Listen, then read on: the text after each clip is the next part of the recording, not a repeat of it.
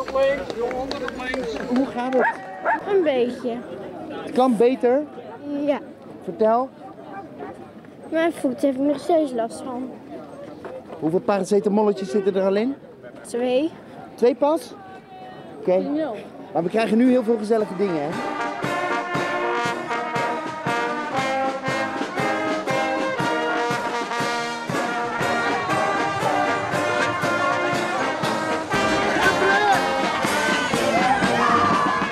Is fantastisch. De sfeer zit er echt geweldig in. We hebben net ijs gekregen bij de burgemeester van Mook. We lopen nu Groesbeek in en ook hier staat weer een burgemeester te- op ons te wachten. Dit is geen jonge honderd was dat trouwens. Ik vind het een superleuk initiatief. En eh, blijkbaar, want jullie zijn nu al op de derde dag en al een heel eind gekomen. Dus blijkbaar eh, gaan jullie het ook eh, uitlopen helemaal. Heeft u zelf ook de Vierdaagse gelopen? Nee, eh, alleen de avondvierdaagse. De, de echte vierdaagse nog nooit. En wat is er nou toch eigenlijk met die Zevenheuvelenweg? Hij heeft heuvels. Ja, maar is daar dan iets, want iedereen heeft het altijd over die Zevenheuvelenweg. Hoe zit dat?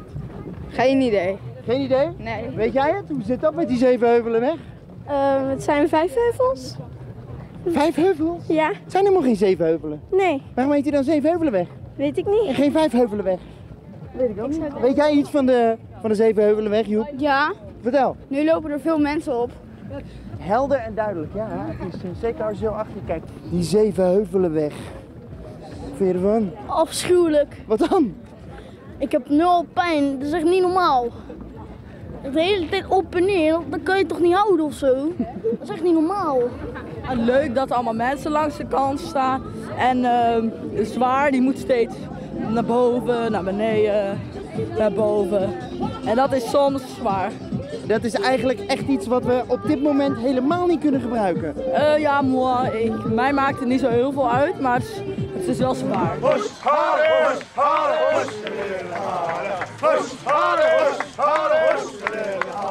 Hoe is dit? Vind je, vind je er zo naast die mannen? Leuk. Ja, het is wel grappig tussen die mannen, allemaal Duitsers zijn. Ik ben geen Duitser, maar dat maakt helemaal niet uit. Ik doe het gewoon na, ik loop er gewoon naast.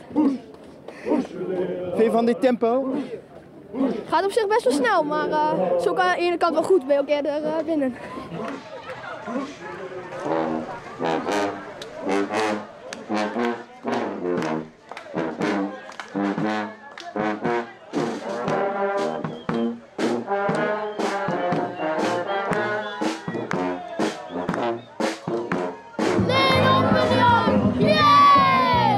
Mag ik jou vragen voor welk goed doel jij loopt? Voor de kindercorrespondent. KWF. Sugar Kids. Voor KWF en Oncologie Radboud. Nou, ik ken wel een paar mensen die eraan dood zijn gegaan. Ik vind het vooral heel erg. En daar steun ik dat ze betere middelen kunnen maken, dat ze weer kunnen leven. Houdt die 60 in voor kinderen in oorlogslanden. En ehm, dat vind ik wel heel belangrijk.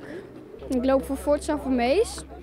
En deze stichting zet zich in voor stofwisselingsziekten.